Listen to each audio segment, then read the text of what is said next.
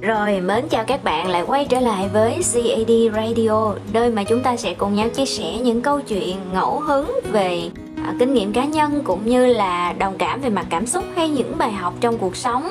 À, qua khung giờ quen thuộc vào lúc 20 giờ mỗi tối từ thứ hai đến thứ sáu và chủ nhật sẽ là chuỗi clip chủ nhật cùng CAD bạn nha. Cảm ơn bạn thật nhiều vì đã dành thời gian cho CAD Radio nha. Và như các bạn cũng đang nghe là tôi đang thu cái radio này vào một buổi có những cái hạt mưa lất phất và lâm râm lâm râm. Nói chung là cái cảm giác lúc này rất là thích các bạn.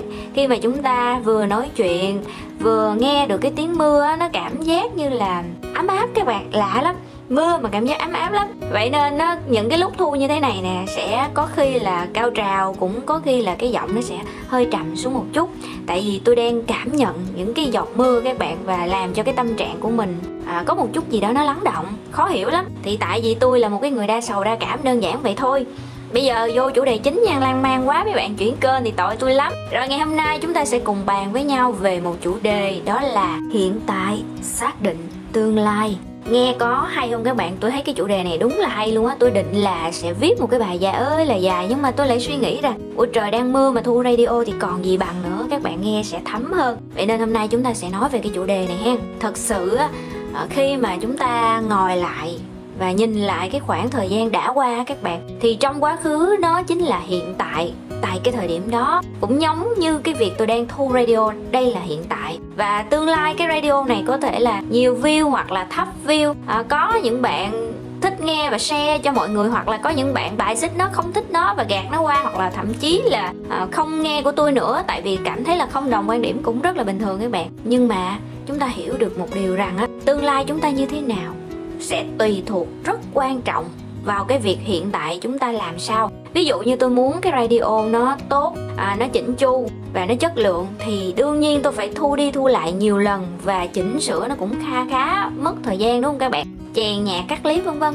Rồi ví dụ một cái đơn giản tiếp theo. Ví dụ như là các bạn muốn ngày mai dậy sớm thì hiện tại là tối nay nè có phải là các bạn cần nên ngủ sớm và chỉnh đồng hồ báo thức không? Đó thì cái hiện tại nó sẽ quyết định cái tương lai của bạn như thế nào sẽ có những bạn muốn dậy sớm rất muốn dậy sớm nhưng mà các bạn có cái tật là các bạn hay thức khuya. Trời ơi các bạn thức khuya chơi game các bạn thức khuya à, làm những cái việc gì đó tôi không biết hoặc là đơn giản là không có ngủ được lên mạng lướt web và xem phim hoặc là vào tiktok hoặc là facebook chẳng hạn nhìn qua nhìn lại một hồi hai ba giờ sáng thì làm sao 5 giờ sáng các bạn dậy được? Đảm bảo luôn. Hiện tại các bạn như thế nào thì tương lai nó sẽ trả về cho các bạn cái kết quả tương đồng, tương đương như vậy. Các bạn không thể nào mà ngày hôm nay các bạn lười biếng và các bạn muốn tương lai của các bạn á, nó tốt đẹp. Mọi điều thuận lợi, tiền bạc, giàu có và cuộc sống sung túc được các bạn ơi, chắc chắn luôn. Những cái người mà người ta thành công, những cái người mà người ta vượt qua được nghịch cảnh ở hiện tại thì tương lai sẽ bù đắp cho họ xứng đáng với cái giá mà họ đã trả trong hiện tại. Hay nói cách khác là quá khứ của cái hiện tại họ đang đối mặt. Ví dụ, những người mà người ta khởi nghiệp từ đôi bàn tay trắng á các bạn, thì họ rất là khó khăn ban đầu. Không có ai bên cạnh ban đầu rất là cô đơn, ban đầu chịu sự phản đối rất là nhiều. Nhưng mà họ không bỏ cuộc. Ở cái hiện tại đó, họ không bỏ cuộc và họ cố gắng mỗi ngày mỗi ngày. Họ thức khuya, họ dậy sớm họ làm việc không kể thời gian họ đam mê với công việc bất chấp. Những cái mối quan hệ ngoài họ không quan tâm nữa. Rồi những cái cuộc cà phê uh, vào cuối tuần họ hầu như họ cũng không có mặt. Hoặc là thậm chí là họ không có thời gian để dành cho bản thân và gia đình của mình. Họ bất chấp họ làm bất kể các bạn. Và tương lai đương nhiên cái nó đắt như vậy thì tương lai họ phải được một cái gì đó tương xứng đúng không? Thì đó là thành công ở hiện tại của họ. Các bạn thử rảnh rảnh á mình lên google á mình search à, từ khóa là những câu chuyện của những người khởi nghiệp hoặc là câu chuyện của những người thành công ở độ tuổi lớn hoặc là nhỏ. Có rất là nhiều câu chuyện đề cao cái tấm gương cố gắng ví dụ như là chủ của KFC đó các bạn một biểu tượng đó và thành ông thành công vào năm là ông 60 tuổi lận. À, với cái thương hiệu gà rán thì các bạn có thể đọc nó quá nổi tiếng rồi hoặc là à, có những cái cuốn sách viết về cuộc đời của những người mà ngày xưa người ta khổ cực bây giờ người ta khác người ta trở nên một cái tầng lớp cao hơn. Và khi mà họ nhìn lại quá khứ cái cuộc sống về lúc trước của họ tại cái thời điểm ở quá khứ đó họ đã vượt qua những cái gì? Nhiều lắm các bạn. Google nó có rất là nhiều nhưng mà kiểu như á không ai nhắc thì các bạn không có nhớ để các bạn tìm. À, thay vì các bạn tìm những cái mẫu chuyện đó thì các bạn lại tìm tên phim à, tìm tên truyện rồi tìm tên game vân vân hoặc là tìm những cái drama chẳng hạn. Thì bây giờ các bạn thay vào đó các bạn hãy tìm về những câu chuyện khởi nghiệp. Đảm bảo với các bạn khi mà các bạn đọc xong vài cuốn sách hoặc là các bạn xem vài bộ tư liệu hoặc đơn giản là chỉ là tóm tắt lịch sử của những cái người thành công đó thôi á thì bạn sẽ có cái nhìn khác về cái sự chuẩn bị ở hiện tại của mình ra sao? Để tương lai mình được bù đắp mình được trả lại cái quả giống như vậy. Ở đời này tôi tin vào hai cái luật đó là luật hấp dẫn và luật nhân quả các bạn. Nghe thì có vẻ là hai cái này nó là một nhưng mà thật ra nó khác nhau nha các bạn. Phải tìm hiểu kỹ thì nó sẽ khác nhau. Và cái luật nhân quả nó rất là hay luôn. Ở chỗ á, là mình gieo cái nhân gì thì mình sẽ gặt cái quả đó. Giống như cái việc ở hiện tại của bạn như thế nào thì sẽ xác định cái tương lai của bạn như vậy. Hôm nay bạn gieo gieo một cái hạt mầm à, tươi tốt về sự tích cực về sự năng lượng về sự cố gắng thì ngày mai ngày kia và tương lai các bạn sẽ gặt lại một cái cây nó phát triển lên nở hoa kết trái về những cái thành quả mà bạn đạt được trong công việc học tập hay là ngay cả tình yêu nữa. À, các bạn hãy sống đúng với cái lý tưởng của mình làm những cái việc mà mình cảm thấy là nó hợp lý nó không có sai với cái lương tâm của mình à, với cái thuần phong mỹ tục hoặc là với cái pháp luật của việt nam thì tương lai các bạn không thể nào mà chạy đi đâu về cái việc là mình có một cái cuộc sống an yên bình thản được. Các bạn cứ cố gắng cố gắng hết sức ở hiện tại đi và tương lai á nó sẽ được um, xác định bởi cái sự cố gắng ở hiện tại của mình. À, có những người các bạn biết không? Làm rất là khuya Ờ, thức rất là dữ, sáng cũng phải dậy sớm, họ làm, không ngơi nghỉ để chi? Để tương lai con cái của họ có một cái cuộc sống tốt đẹp hơn. Và về sau, cuộc đời về già lúc mà không còn sức lao động nữa thì họ không phải ăn bám con cái, họ có một cái số tiền để tiết kiệm. Họ tự nuôi sống mình, hoặc là lỡ trong gia đình có biến cố gì thì họ vẫn có thể xoay sở được. Vì vậy, ở hiện tại họ cố gắng rất rất nhiều hơn so với những người khác. Cái tương lai của các bạn á đôi khi các bạn không nhìn thấy được. Đương nhiên rồi, tương lai là cái điều mà không có gì chắc chắn hết. Các bạn có thể tưởng tượng ngày mai ăn cái gì chưa chắc các bạn biết được cái thực đơn ngày hôm nay đâu. Mình mở tủ lạnh ra, mình thấy có nhiều đồ như vậy, nhưng mà chắc gì các bạn biết ngày mai các bạn ăn gì chưa? Có bao giờ các bạn tự hỏi là ngày mai mình sẽ làm những cái gì, rồi mình ăn cái gì và mình có được cái gì không? Đôi khi chúng ta quên các bạn, đâu biết được đã tương lai, làm sao mà biết được? Không ai biết được đâu. Nhưng mà ở hiện tại các bạn biết được. Các bạn làm chủ được hiện tại của mình. Vậy thì tại sao mình không làm? Cái điều đơn giản nhất là ở hiện tại bây giờ nè, các bạn làm được cái gì?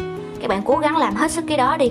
Các bạn chuẩn bị được cái gì cho ngày mai, ngày kia và một tháng, một năm 3 năm 10 năm sau thì các bạn cứ làm đi. Ở hiện tại nó quan trọng hơn. Đừng có suy nghĩ rằng hồi không biết là tương lai mình sẽ trở thành con người gì. Mẫu người mà mình sẽ lấy, mình sẽ cưới ở tương lai ra làm sao? Ngồi đó vẽ vời ra khung cảnh không? Các bạn không cần. Bây giờ các bạn cứ ngồi lại. Ở hiện tại, ngay giây phút này, trong đầu của các bạn, nghĩ ra mình có thể làm được cái gì? Mình có thể cố gắng được tới đâu? Mình có thể đạt được những cái gì trong tương lai gần là ngày mai, ngày mốt hoặc là tháng này? Đó, ví dụ tháng này là target của mình là bao nhiêu đó, mình có đạt được hay không và lập kế hoạch ra để đạt được nó bằng cách bây giờ lấy giấy bút ra ghi liền tại chỗ. Hoặc là, bây giờ tương lai các bạn không biết một năm các bạn đọc được bao nhiêu cuốn sách, đúng không? Các bạn có thể đề ra một năm tôi đọc 100 cuốn 200 cuốn cũng là bình thường. Đó chỉ là cái mục tiêu trong tương lai thôi. Ai làm chứng các bạn làm được, nhưng mà hiện tại bây giờ nè các bạn lật từng trang sách ra. Các bạn đọc từng câu, từng chữ. Và ghi nhớ, có thể ghi chú lại ở các cuốn sách, ở từng trang sách. Vậy là các bạn đã có cái sự chuẩn bị ở hiện tại để xác định là tương lai của mình rồi đó. Năm vừa rồi tôi có tổng kết là tôi đọc được 7 cuốn sách các bạn. Một con số tôi nghĩ là có thể nói không phải quá nhiều, nhưng đối với một người trước đây bài xích ghét cái việc đọc sách thì đây là một cái sự, gọi là, tiến bộ rõ rệt mà tôi hơi bị bất ngờ về bản thân mình luôn. Đơn giản, tôi không có suy nghĩ là tương lai mình sẽ đọc được bao nhiêu cuốn sách. Tôi không có nghĩ là mình sẽ đọc những loại gì, thể loại gì trước luôn. Chỉ đơn giản là à bây giờ hiện tại mình đang thiếu sót cái gì thì mình tìm cái cuốn loại đó về mình đọc. Mình cũng không cần quan tâm là ngày hôm đó mình đọc bao nhiêu trang, mình chỉ giới hạn cái thời gian à một ngày dành cho nửa tiếng đọc sách hoặc là 15 phút đọc sách đọc hết cái thời gian đó là làm công chuyện khác. Cứ như vậy ngày qua ngày, trang qua trang rồi từ từ hết cuốn sách nào cũng hay. Hết cuốn này, mình lại thấy hơi khó chịu, mình lại đặt cuốn khác, mình lại đọc. Hoặc là được bạn này bạn kia tặng, hoặc là mượn người này người kia. Cứ như vậy thôi các bạn, mà gom lại một năm đọc 7 cuốn. Trời ơi, tôi thấy bản thân tôi mà một năm đọc 7 cuốn là hơi bị ghê các bạn. Tại vì với bản thân tôi thôi nghe, là tại vì hồi xưa tôi ghét đọc sách lắm. Mà bây giờ đọc một, hai cuốn nhiều khi cũng khó, mà giờ một năm đọc 7 cuốn rồi nhiều dữ các bạn. Không nghĩ do cái hiện tại ở tại cái thời điểm đó, tôi đã cố hết sức và tôi làm đúng theo cái kế hoạch của mình. Thì tương lai khi mà tôi tổng kết lại thì tôi được một cái quả ngọt là cái số lượng sách và cái kiến thức mà tôi nhận được từ những cuốn sách đó. Tôi áp dụng vô chứng khoán nè, tôi áp dụng vô viết lách nè, rồi tôi áp dụng vô là kỹ năng giao tiếp hoặc là tâm lý. Đó, và có cả những cái chuyên ngành khác như bảo hiểm nhân thọ, vân vân, nhiều lắm các bạn. Mỗi một cái thể loại sách, có nhiều cuốn sách, rồi trong những cuốn sách đó sẽ có vài cuốn hợp với bạn các bạn cứ đọc. Các bạn cứ va chạm giống như là cái việc các bạn ăn uống mỗi ngày đổi món vậy đó. Nhưng mà khuyên các bạn hãy đọc. Hết cuốn này rồi hãy đọc qua cuốn khác nha. Nó sẽ tránh được cái trường hợp là mình quên cái nội dung của cuốn sách mình đang đọc hoặc là à, cái kiểu như là bỏ dở cơm mứa đó các bạn. Như vậy là không nên trong cái việc đọc sách ha. Mình cứ đọc từng trang từng trang một từng ngày từng ngày một. Ở hiện tại mình cố gắng rồi thì tương lai nhất định các bạn sẽ có được một cái kết quả mà ngoài mong đợi của các bạn luôn. Chứ đừng có ngồi đó suy nghĩ rằng ôi không biết tương lai tôi sẽ trở thành vĩ nhân như thế nào tương lai tôi sẽ lấy một cái cô hoa hậu ra làm sao. Nô no, đừng các bạn. Hiện tại nè quan trọng lắm luôn á hiện tại của bạn sẽ xác định tương lai của bạn như thế nào nha. Cái việc mà tôi muốn nhắc nhở ở cuối cái radio này không liên quan một chút nhưng mà tôi nghĩ nên nhắc các bạn. Đó là đừng có để sự nuối tiếc trong quá khứ nó ảnh hưởng đến hiện tại và dẫn đến kết quả không mong muốn trong tương lai bạn nha. Vậy nên hãy sống làm sao để hiện tại được trọn vẹn và tương lai nó sẽ đủ đầy hơn cho các bạn ha rồi, cảm ơn các bạn thật nhiều vì đã nghe radio đến đây và hy vọng các bạn có những cái giây phút thoải mái cũng như là à, đúc kết được cái gì đó cho mình. À, nếu mà chúng ta cùng quan điểm và có thể đồng cảm cùng với nhau. À, nhớ đăng ký kênh cũng như bật chuông thông báo để chúng ta có thể gặp nhau vào 20 giờ mỗi tối nghe cảm ơn bạn một lần nữa và chúc bạn ngủ ngon. Chào tạm biệt và hẹn gặp lại vào ngày mai. Bye bye!